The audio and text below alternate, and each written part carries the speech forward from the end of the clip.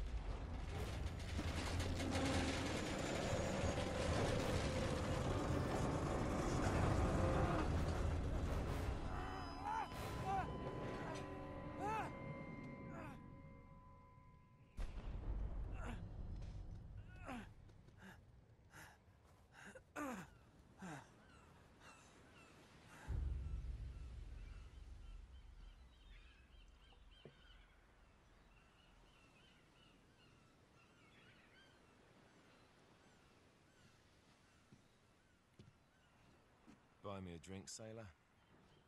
Harry Flynn? Hey! What the hell are you doing here? I'm looking for you, mate. Uh-oh. Should I be flattered or worried? Maybe a bit of both. Come here. I've got a job for us. Really? The client is willing to part with a huge sum of cash if we acquire a certain object for him. All right, I'm listening. Now, you're not gonna like this. Oh, no. No, you're out of your mind. Yeah, you just, just hear me out for No, a second. Flynn, we both know two people who were killed trying to lift something out of this and place. one who made it out. Yeah, barely. I can't do this without you, Drake. You're the only one who's cracked it, and you know better than anyone it's a two-person job. No, no, no. Three, actually. Right. And speak of the devil, here she comes now. What? Chloe Frazer. Nate. Drake. Nathan. Drake. Chloe here's one of the best drivers in the business. She'll take good care of us. I bet. Right, look. I've got it all figured out. We go in through the sewer. Loving it so far. That puts us in the courtyard. From there, we scale up the wall, run across the rooftops, and just drop down into the exhibit hall. Bob's your uncle. And what is worth all this trouble, I hear you ask? I didn't, but go ahead. That's it. An oil lamp. Yeah. it's worthless. I don't get it. Neither do we. That's why we tracked you down. Well, it sounds like you're working for a nutcase. Hmm. Some collector who's got too much time and money on his hands. And by the way, this is not worth any of it. But there's more. How's your 13th century Latin, mate? Where'd you get this? Borrowed it from the files of the nutcase. In Trebizond, we were set upon by thieves. Father, Maffeo, and I were robbed of our greatest treasures. This was written by Marco Polo. Yes, that much we were able to work out. Unfortunately, the rest of it's nonsense. Hey, hold on. So that it should not fall into the wrong hands, I concealed my great sorrow in the unlikeliest place. The light of the great Khan shelters the fate of the Thirteen. See what I mean? It's just gibberish. He's talking about the lost fleet. Yeah. I know, someone want to fill me in? Marco Polo leaves China with 600 passengers and 14 ships, loaded down with treasure from Kublai Khan. And he lands in Persia a year and a half later with only one ship left and only 18 passengers. Now, he recorded every detail of his journey, but he never told what happened to all those ships and the passengers. So, so somewhere out there, there are 13 ships loaded with the Emperor's treasure waiting to be found. Yeah, and that is what your client is after. Hey, look at this lamp. It's covered in Mongolian script. It must have been a gift from Kublai Khan. The light of the great Khan shelters, Shelters the fate, of the Thirteen. Marco Polo hid something inside this lamp. Something that pinpoints the site of the lost fleet. So, we're digging this guy over, right? Damn straight. Absolutely. you in then? What the hell? I mean, what could possibly go wrong?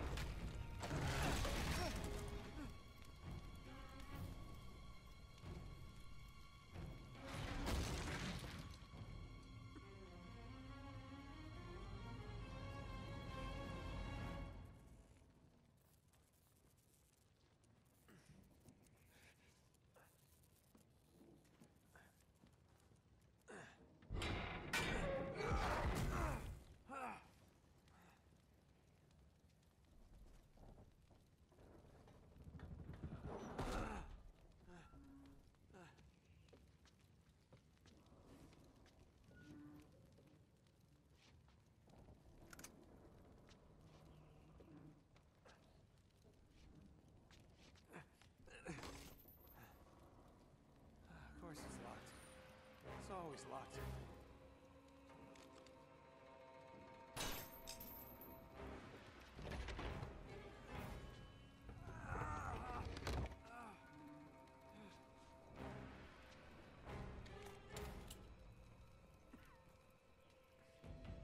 He's alive! Karma's a bitch.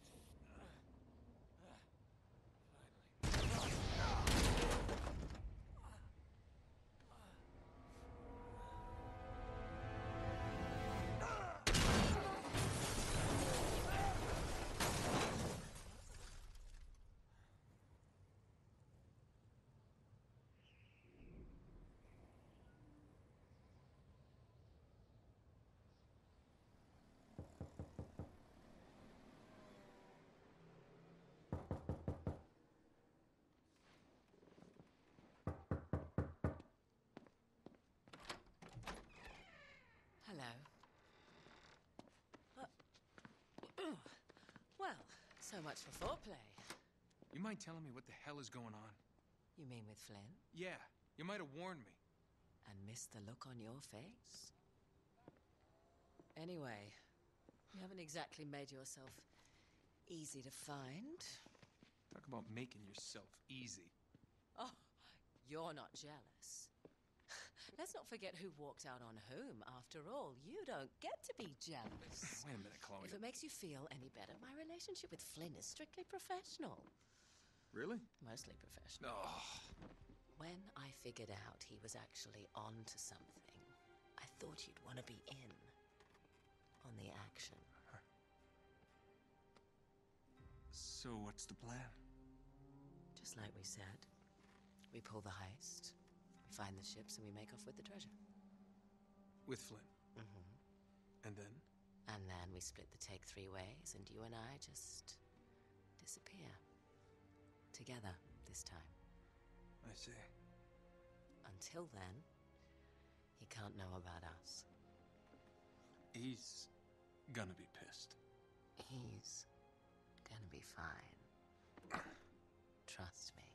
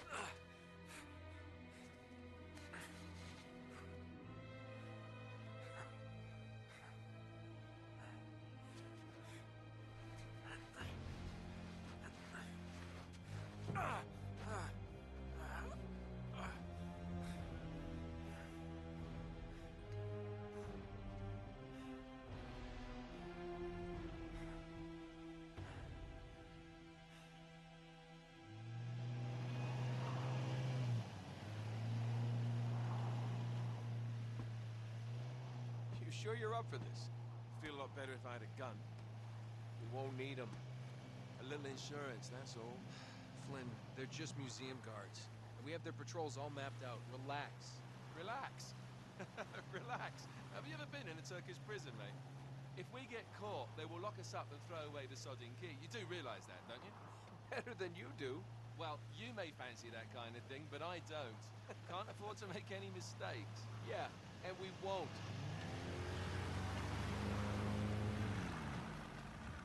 We're here.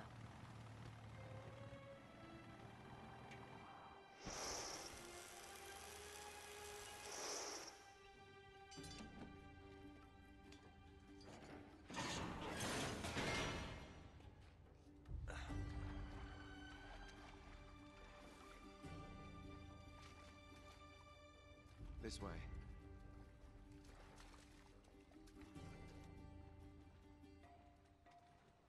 So what do we do if they switch the patrols?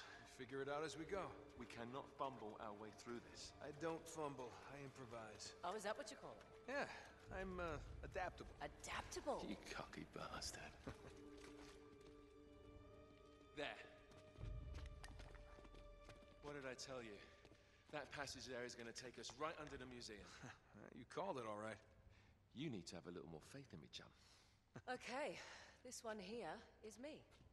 All right, remember, that tower is our only way into the exhibit. But we can't even get close with those floodlights on. We've gone over this. Just make sure you cut the power by the time we reach the second courtyard. The lights will be out.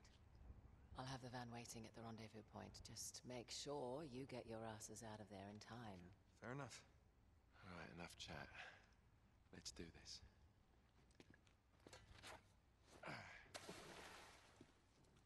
Chloe. See you on the other side. Looking forward to it.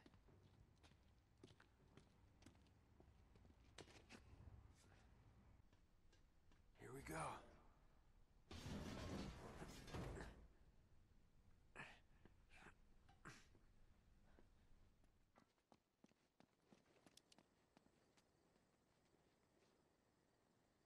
Shit. I got him.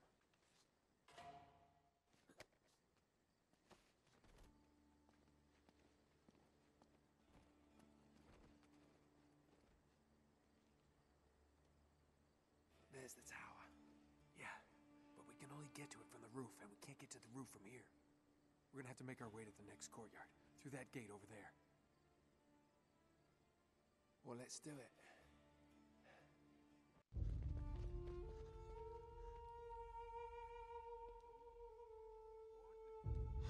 Crap. Now what? It's time to tip the odds back in our favor. Oh, that's brilliant. Guns? What are you thinking? Relax, Gandhi. They're tranquilizer guns, totally non lethal. Your conscience will remain unscathed. Oh, well, good idea. Great. Okay, a little bit of advice. These things have lousy range, so we still have to get in close. You okay with that? Know how to shoot a gun, genius. All right.